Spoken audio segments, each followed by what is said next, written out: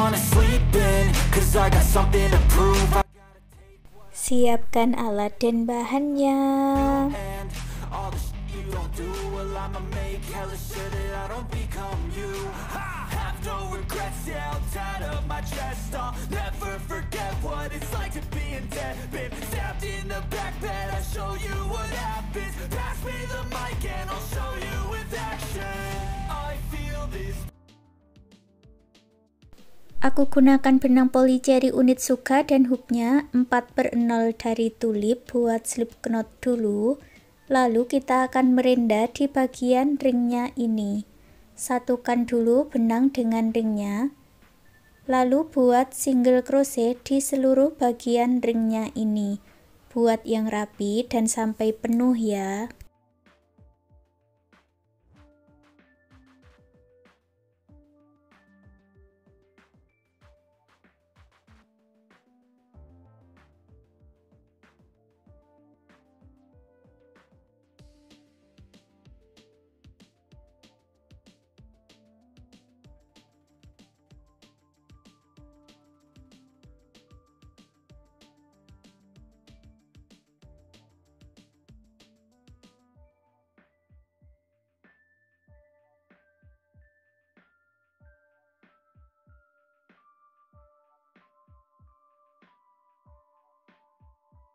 Usahakan jumlah single crochetnya ini kelipatan 4 ya karena nantinya kita akan membuat motif dengan kelipatan 4 punyaku ini jumlahnya 92 single crochet lalu satukan dengan slip stitch di single crochet yang awal dan buat 80 rantai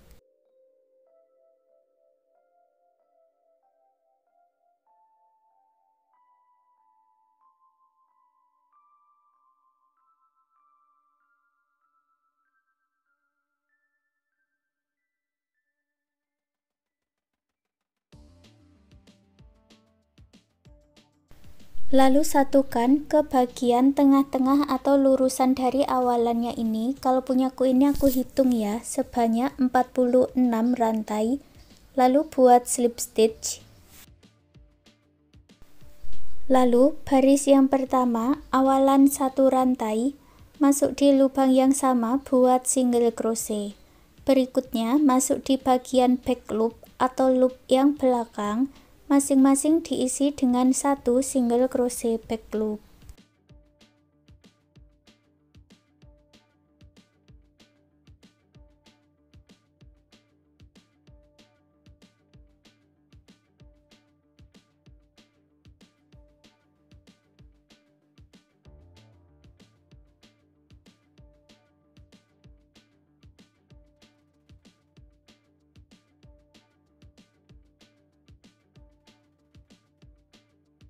Kalau di bagian talinya, langsung ambil dua bagian loopnya buat single crochet dan lanjutkan membuat single crochet back loop sampai di awalannya lagi.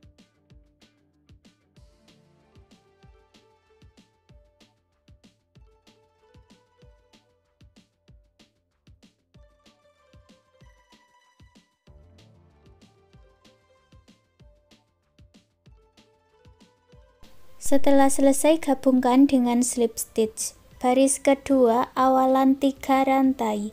Lalu isi setiap lubang rantainya ini dengan double crochet.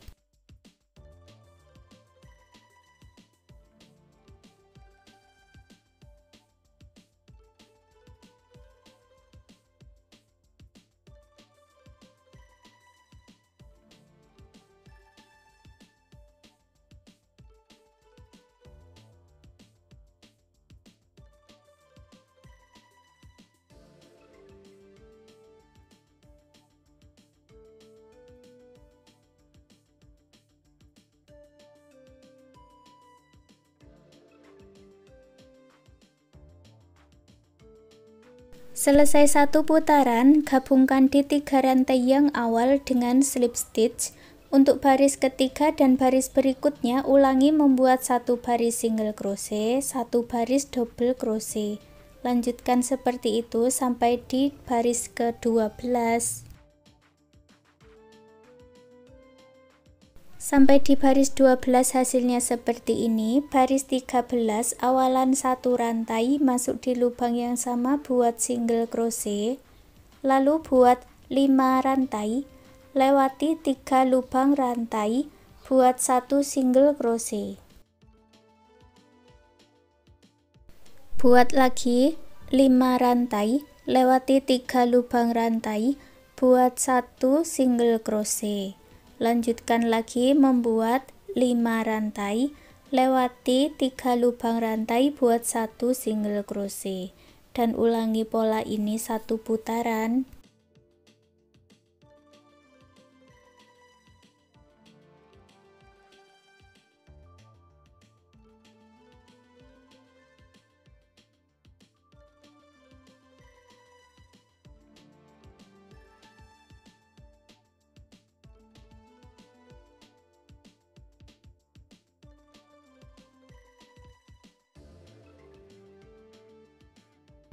Akhir baris 13, buat dua rantai. Lalu satukan di single crochet yang awal dengan menggunakan tusuk double crochet seperti ini ya. Baris 14 caranya sama. Awalan satu rantai lalu single crochet di dalam rongga 5 rantai Masuk ke rongga berikutnya, buat satu single crochet 5 rantai.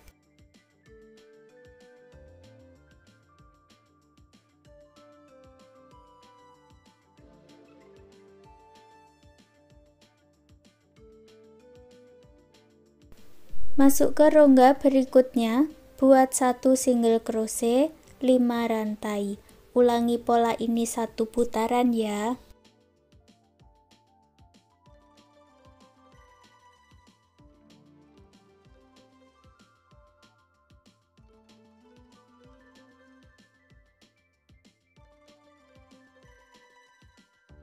Akhir baris 14, buat dua rantai dan double crochet untuk menyatukannya.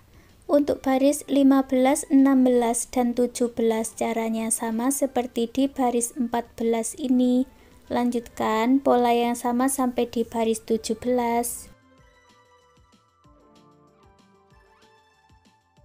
Sampai di baris 17 buat satu rantai dan putus benang warna kuning dengan korek.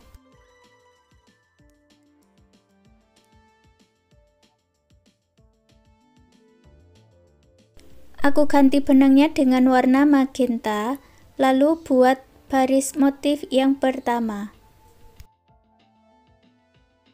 Masuk di bagian slip stitch atau di dalam rongga buat satu rantai, satu single crochet, tiga rantai. Masuk ke rongga berikutnya buat satu single crochet, tiga rantai.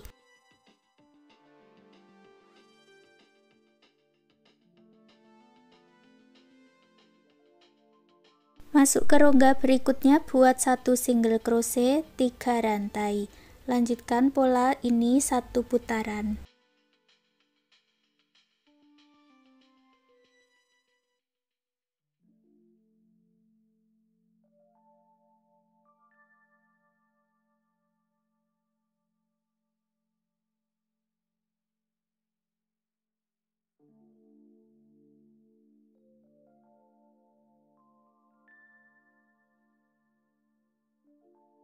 Akhir baris motif pertama ada tiga rantai, satukan di single crochet yang awal dengan slip stitch.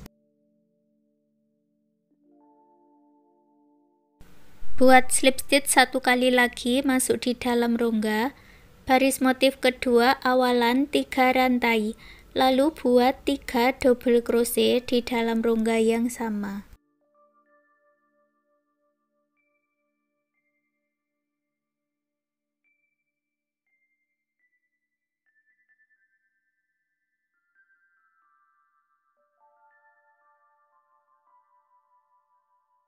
Lalu isi setiap rongga-rongganya ini dengan 4 double crochet.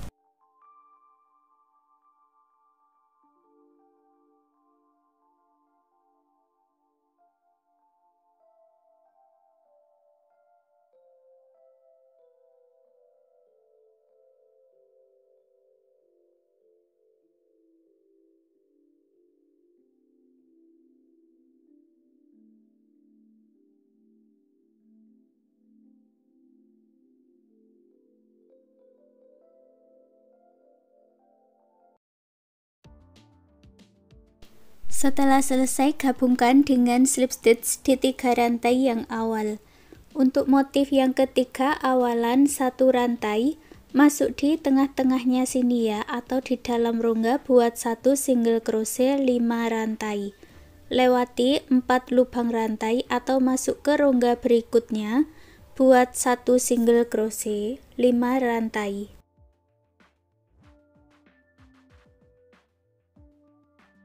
Lewati 4 lubang rantai atau masuk di dalam rongga buat satu single crochet 5 rantai. Selesaikan satu putaran.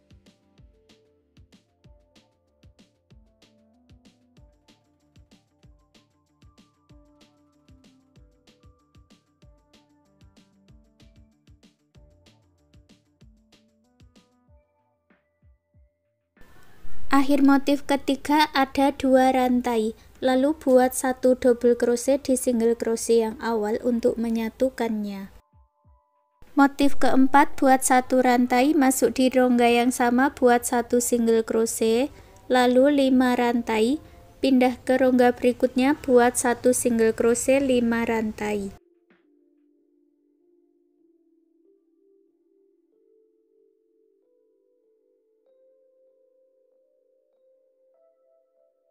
Masuk ke rongga berikutnya buat satu single crochet 5 rantai selesaikan satu putaran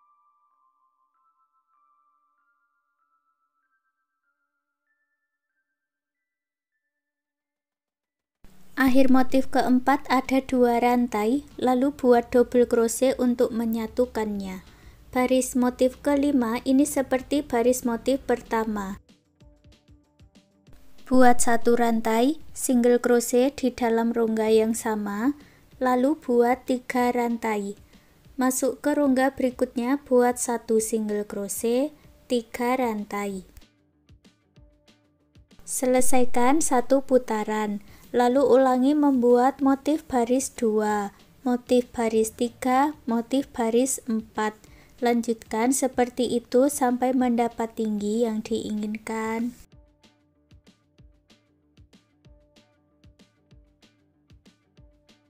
Punyaku ini aku buat sampai 8 kali pengulangan, nanti hasilnya seperti ini ya. Lalu buat satu rantai dan putus benangnya dengan korek, rapi-rapikan sisa benangnya.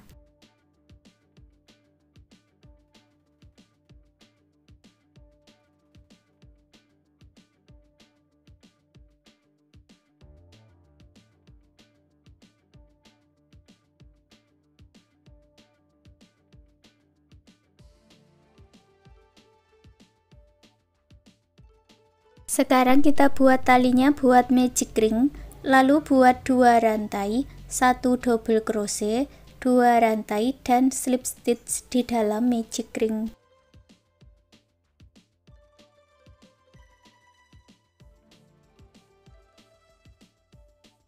Ini sudah jadi satu kelopak bunga ya.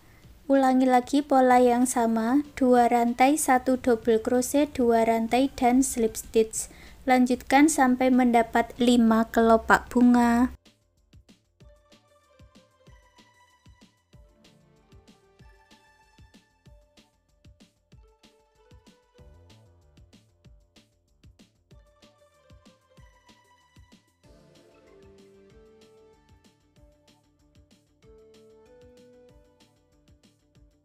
Setelah mendapat 5 kelopak bunga, tarik benang yang pendek dan eratkan buat 80 rantai.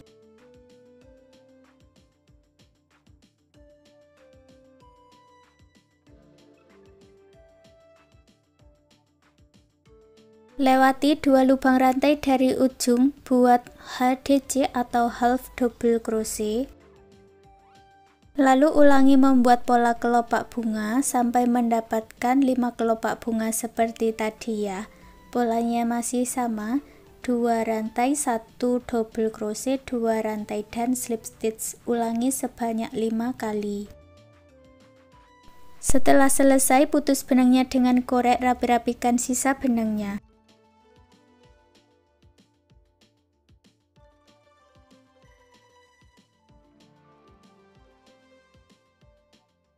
Lalu pasangkan ke bagian motif yang paling bawah caranya seperti ini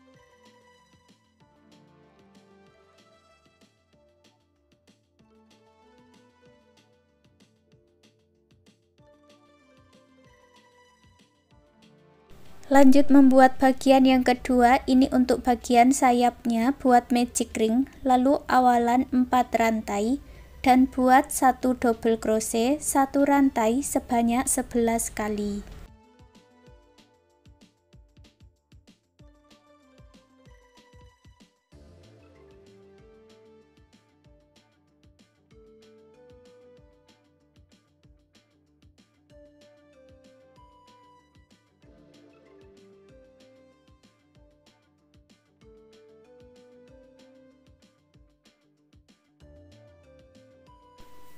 Tarik benang yang pendek dan eratkan, lalu hitung dari bawah tiga rantai, buat slip stitch di sini. Baris yang kedua, buat slip stitch satu kali lagi, jadi masuk di dalam rongga ya. Lalu buat awalan tiga rantai, satu double crochet di dalam rongga yang sama, dan buat satu rantai. Lalu isi setiap rongga-rongganya ini dengan dua double crochet satu rantai.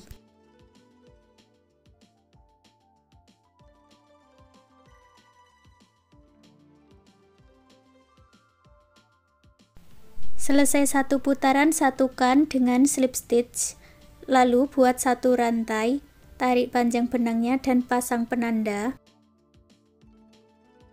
Baris ketiga aku ganti benangnya dengan warna hijau buat slip knot dulu, lalu masuk di dalam rongga ya.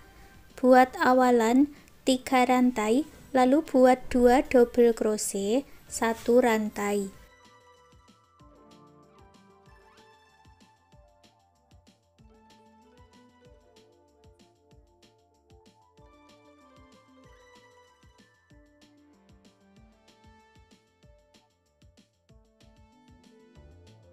Dan isi setiap rongga-rongganya ini dengan 3 double crochet satu rantai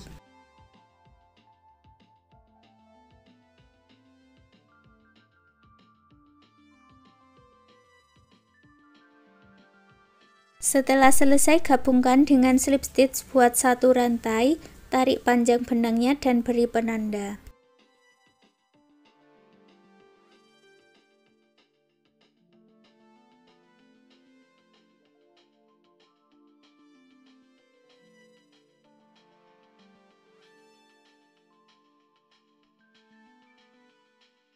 Baris keempat ambil lagi benang warna toska, lalu buat awalan 3 rantai, 1 double crochet, 1 rantai, masih di rongga yang sama ya.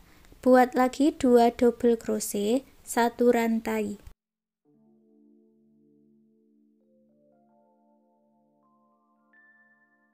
Lalu isi setiap rongga-rongganya ini dengan 2 double crochet satu rantai sebanyak dua kali.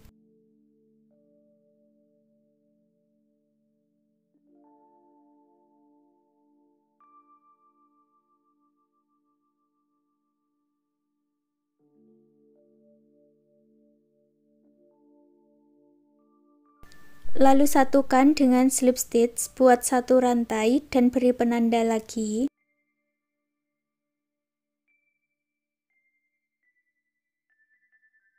Baris kelima ambil lagi benang warna hijau awalan tiga rantai, masuk di rongga yang sama buat satu double crochet satu rantai, lalu masuk ke dalam rongga berikutnya di sini ya, buat dua double crochet satu rantai.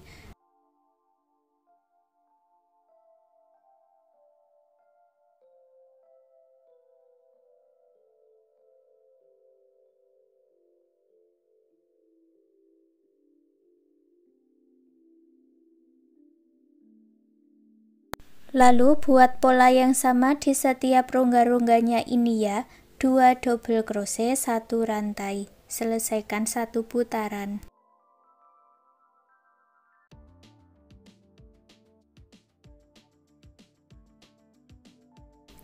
Selesai baris kelima, gabungkan dengan slip stitch buat satu rantai dan putus benang warna hijau dengan korek. Baris yang keenam kita jalan warna toska buat awalan tiga rantai, dua double crochet di dalam rongga yang sama, Lalu isi setiap rongga-rongganya dengan 3 double crochet.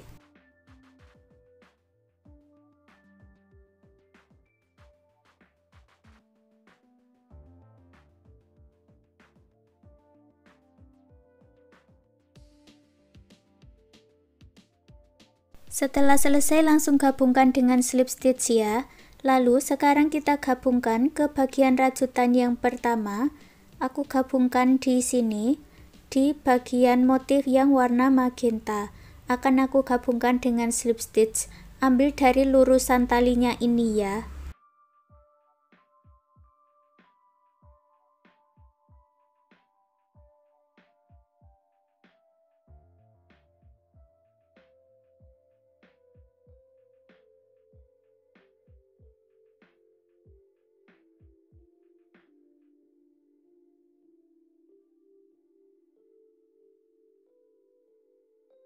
Setelah menyatu dengan kuat, putus benangnya dengan korek, rapi-rapikan sisa benangnya.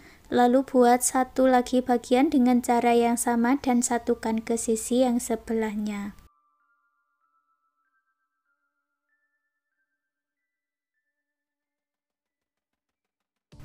Untuk aksesoris mata, hidung, dan tassel rumbai-rumbainya ini ada di videoku yang sebelumnya ya. Dan hasilnya seperti ini. Sekarang tempat kantung kreseknya sudah jadi. Terima kasih sudah mengikuti video ini. Semoga suka dan bermanfaat.